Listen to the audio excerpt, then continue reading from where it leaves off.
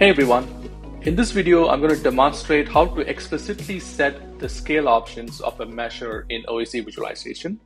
Now in this table, I have the abbreviate properties uh, set to on, turned on for all of the measures as you can see on my screen.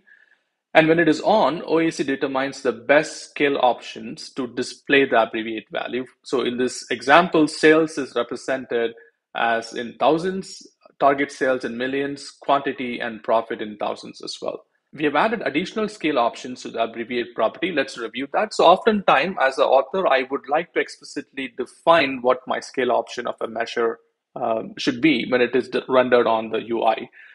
So let's expand on the abbreviate property for um, sales in this case. And you can see that in addition to turning on or off the property, the author can now explicitly state how they want to represent the abbreviated value to be displayed in UI. So for sales, I'm going to say I want to display it in millions. For target sales, I want to say I, the value to be displayed in billions. For quantity order, let me explicitly state it, uh, the value to be displayed in thousands and profit as well uh, in thousand. You can see that when I set the explicit scale options, now my sales is represented as a, two digit decimal value abbreviated to millions. Target sales is represented uh, in the billion scales and quantity and profit in thousands.